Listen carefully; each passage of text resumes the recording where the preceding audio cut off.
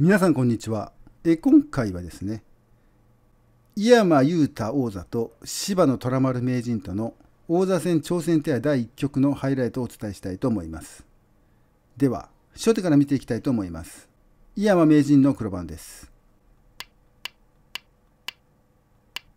一見締まりしました。で、えー、桂馬に締まりましたね。で、かかってコスミつけて一見取りました。井山さんはよくね、この手よく打ちますね。コスミつけて一見っていうのはね。実利が好きですから。で、3弦に開きまして、そしてかかって桂馬に受けて、そしてね、3弦に開きました。で、ここでここに打ちましたね。で、えー、桂馬のね、ここの位置ですね。はい、ここね、詰めまして、そして手抜いて肩ついていきました。で、まあ、伸びて、伸びて、伸びて、伸びて、で、桂馬で外しましたね。で、ここで押さえましたね。まあ、押さえた手はね、ちょっとまあ、ちょっと字でね、得しようという手ではあるんですけどもね。はい。で、ここで手抜いてね、ここに打ちました。はい。ここもいいところですね。で、ここでつけていきました。まあ、ここ、ね、ちょっとあの、打開しようということですね。はい。跳ねてつけて引いてで押さえてでここまで打ってここを挟みましたね。で桂馬に飛びましたね。まあここ桂馬に飛ぶ手はなかなかあのなんか洒落た手でっていうか、はい、人工知能のあの推奨しても一致してます。一件でもあるんですけど一件もあるんですけれども。なかなかこの受け方がね悩ましいんですよねこれね。ここで。どういうふうにまあ、攻め受け方っていうか攻めるのかってなかなか悩ましいところです。人工知能は手抜けって言ってますけれども、うん、まあね、ここでね、はい、手抜いてこの辺打てとか言ってますけれども、まあ、人間はそういうわけにはいかないですから、まあ、ここに打ちました。はい、で、ここでかけていきましたね。えー、で、まあ、一応ここで一回ここ覗きまして、ついでんで這いました。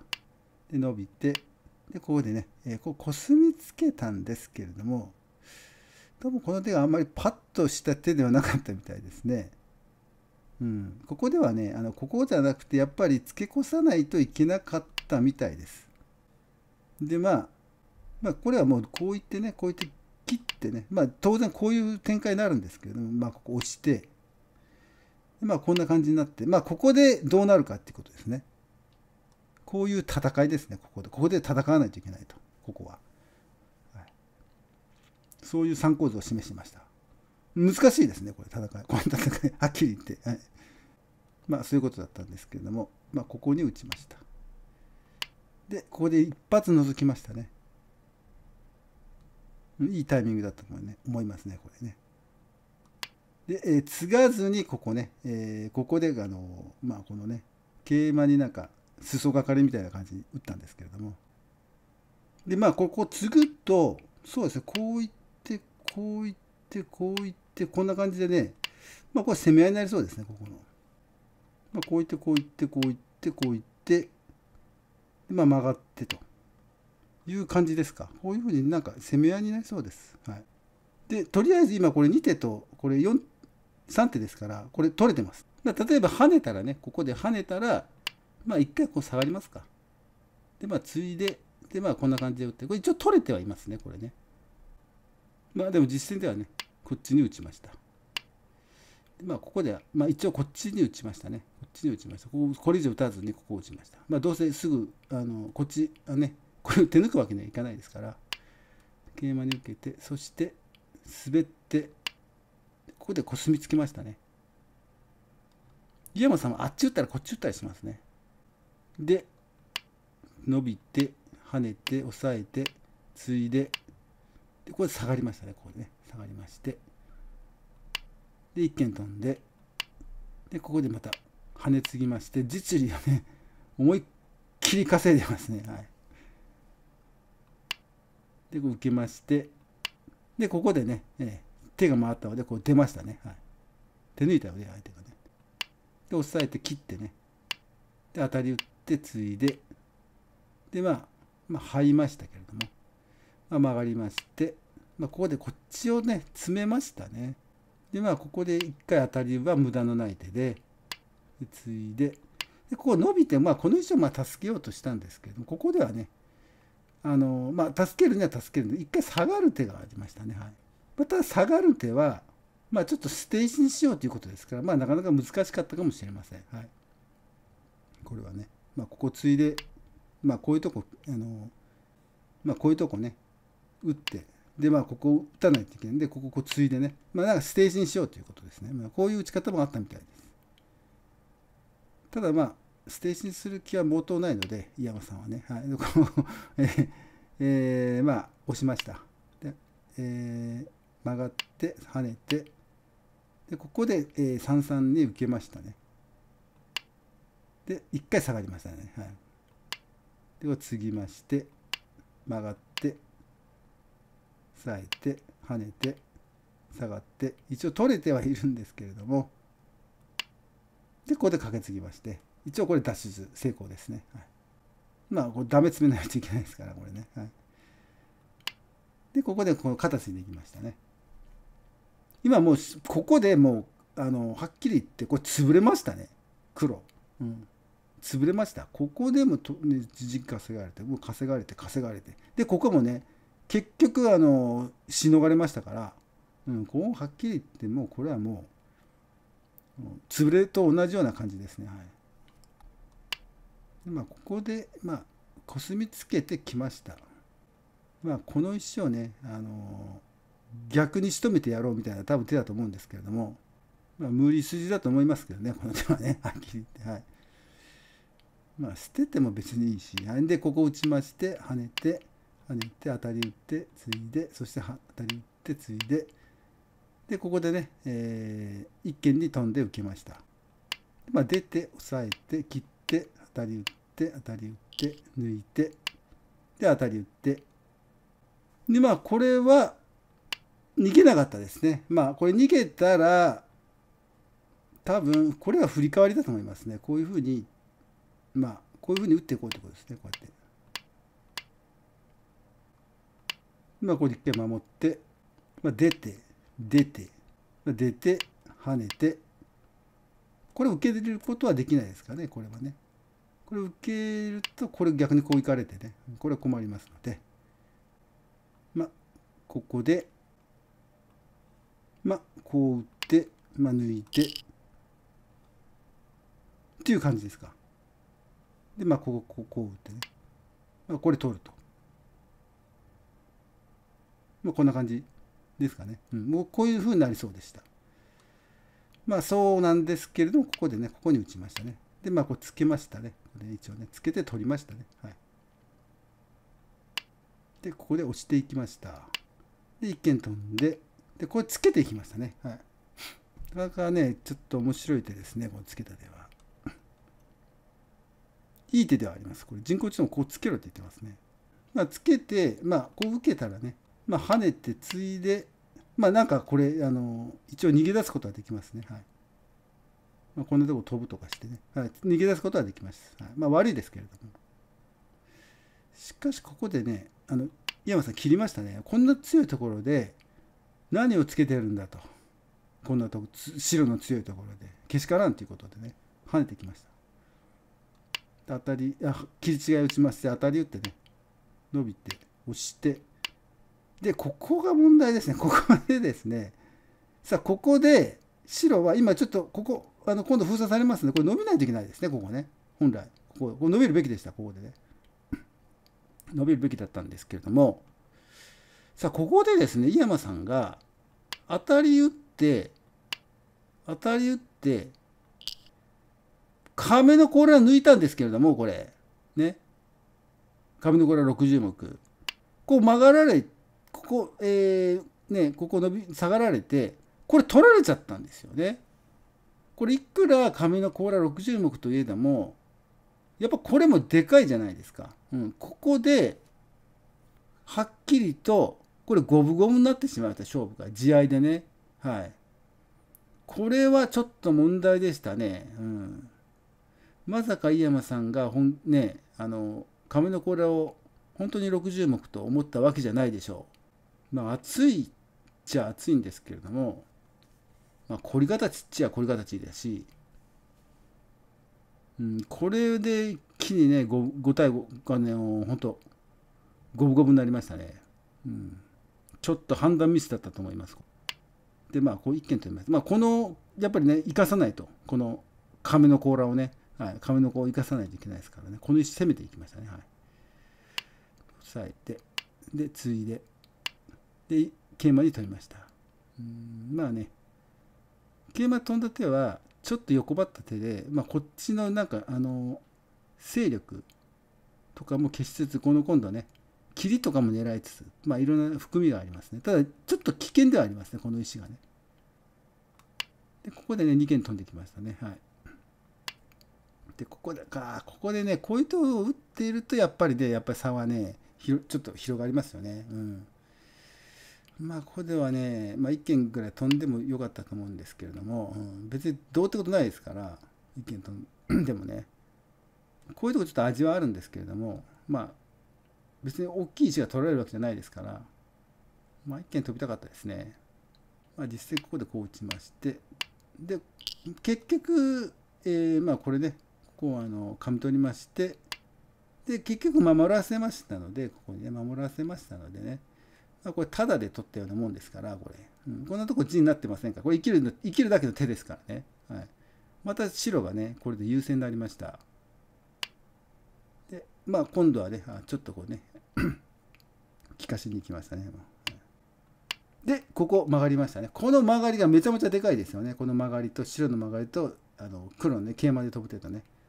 もうほんとめちゃくちゃでかいですからこれ。曲がりました。大きいとこもありましてね。これは井山さんが優勢ですね。今はね、はい、はっきりと。で切っていきましたね。切った手はこれハサミ付けがあるんですけれどもハサミ付けでこういうふうにね多分こうなると思うんです。こうなるとおそらくちょっと熱くなるのでこの石がちょっとちょっと怖いと。いうのもあったかもしれませんね、うん。まあ、そういうのを危惧したかもしれません。それでまあ切ったんですけれどもまあ、これ当然これね引きますよねこれはね、うん、でまあこっちで利かそうっていうことですね逆にねこれは。でここで跳ねまして跳ね継ぎましたね、跳ね継ぎこの時ちょっと切りがありますのでここね大きいっちゃ大きいです跳ね継ぎもね。でまあここは先手ですね。こう継ぎまして。でこっちを切りましたけれどもうんちょっとどうだったんでしょうかねこの手はね。うん今ね重要なのは人工知能はずっと言ってるんですけど人工知能はここを守れって言ってますね。ここを、うん、ここを守りなさいって言ってます、うん、今度これ伸びられるとこれあのー、生還するんですねこの石。取ら取れないんですよ。だからここを打ってこの石をしっかりと取りなさいと。今それが重要だって言ってますね。はい。ずっと言ってますねここね。しかしまあここでこう打ちましてでこうこう出てね、うん、でし黒もここでこうではなくてあのここをつけろって言ってますねはい。でまあこういうふうに言って聞かせと。で聞かせてこの辺を字にしろと言ってます。しかし時点でこう出ましてでここでこうつけてきましたね。つけた手では、まあ、意味的には多分ね私の勘なんですけれどもこれは多分ねまあおそらくここでこういう手をこれが本手なんですよねここ守っておくのが本手なんですけれどもここを打ったらこれ多分切ってくると思うんですよね。で多分ね秒読みだったし正確な形勢判断とか多分できてなかったと思うんですよ。でまあこういうふうに打ってこう打ってねこういうふうに取っても実は白がいいんですよ。でも計算度しっかりしてなかったら多分これはちょっと甘いと。ここでこういった時にこういうふうにね、まあ、こういうふうに言ってこの石がどうかと。いうのも考えられますから。でこれはちょっと自信がなかったかもしれませんね。こういった時こう一見飛んで、ええ。うん、これをしのぐっていうのはね。ただしのぎはあったみたいです。これでもね、うん、なので今あの白はここをね何とかしてあのあの整形しようとしてますね。あのここで切られないように。そういう意味の多分細工をしてると思います。ここで。跳ねてここで8跳ねて当たり打って当たり打って抜いて当たり打ってつい伸びて跳ねて当たり打ってでついでで曲がってでここ継ぎましてさあここなんですね。ここでちょっとディアマさんの考えはまあ多分ここを来るだろうと。当然ねここを来るだろうっていうのであればここをこうやって跳ねておけばここでここ受かりましたよね。この部分が。受かってますよね。うん。ただこれを想定してたと思うんですよ。うん。これ想定してたと思うんですよ。しかしここでねあの柴野さんがこう変化してきたんですね。これ悪手なんですけれども 変化してきたんですよここで。はい。まあ、こと当然これね、まあ、あの取りますよねこれね。はい。でこれこっちを切ってきたんですよね。はい。でここでねはっきり言って白はこれもういいんです。これ捨ててもいいんですよ。もうこれ得してますから。だったんですよね。多分ちょっと予定が狂ったと思います。でここで逃げ出したじゃないですか。この手がまずかったです。もうここでは捨てないといけなかったですね井山さんは。この石を。捨てないといけなかった。もう利かすとか、うん、多分利かしてる間に多分生還するとかしますので直接的に逃げるのはあのあんまり良くなかったです。でここでもさっき言ったようにここを守っておけと。ここをねこことにかくここを守れと、うん、今これは重要だっていうことですね、はい、何度も言ってますけどここを守れと、うん。まあ、ここもうここはもうもう放っておけと。ね。こう取ってるし十分だっていうことだったんですけれども。まあ、実戦ではこう動きました、ここね、直接で。これこれ一発でまた5対5になってしまいました。これ40%差がありましたからね、この2件飛びで。で、ここに移ってきまして、こっちに打ってくることによって、この石もね、この石を攻めることによって、この石もあの安全になりますからね、もともとはっきりと生きてなかったですから、で、まあ、ここつけまして、押さえて、この手はいい手だったんですけれども、ここでこっちに跳ねましたね。はい。まあこれ一応生かそうっていうことですね。はい。で覗いてついででつけてでここでですね跳ねたんですけれどもこの跳ねた手がつけた手も自分自分自分自分あの実は無理手だったんですけれどもこのつけた手もね黒の跳ねた手が、まあ、それに相応した悪手だったんですよね。ここではね、こっちをこういうふうに打たないといけない。これ先手ですから、これ。多分、多分先手だと思うんですよ。じゃあ、ここ、多分黒下がってくると思うんです。この当たりを一発効かせるんですよね、ここで。で、こういうふうに打っておいて、今度はこれ、継ぐ手とかがありますから、これ、あこれは継がないといけないですね、ここね。うん、今度、このちょっと継ぎとかあって、攻め取りの味もありますし、そしてこうしておいて、まあ、何度も言ったように、ここを守ると。はい。ここを守ると。はいこれこれが良かったです。はいまあ、実戦ではねここでこっちに跳ねたんですけどこう跳ねる手がいい手でしてねここで跳ねる手が。跳ねる手はこれいい手ででまあこう当たり打つんですけどもここついででここをまあ押してきてこれ結局ね生かそうとしてるんですねこれ。生かしてきました。もうこれしょうがないですここまで来たら。今ここでですねこう切りましたねここを切りました。でここで、えー、まあかけ継いでで当然これ取らないといけないですね。はい、取りまして。でここでですね、あのー、こう曲がったんですよねこれ。曲がってここでま膨らんで膨らんででここで曲がったんですよね。この曲がった手で実はチャンスがありましたね。こう曲がった手ではこれ曲がった手は実は失着だったんですよこれ。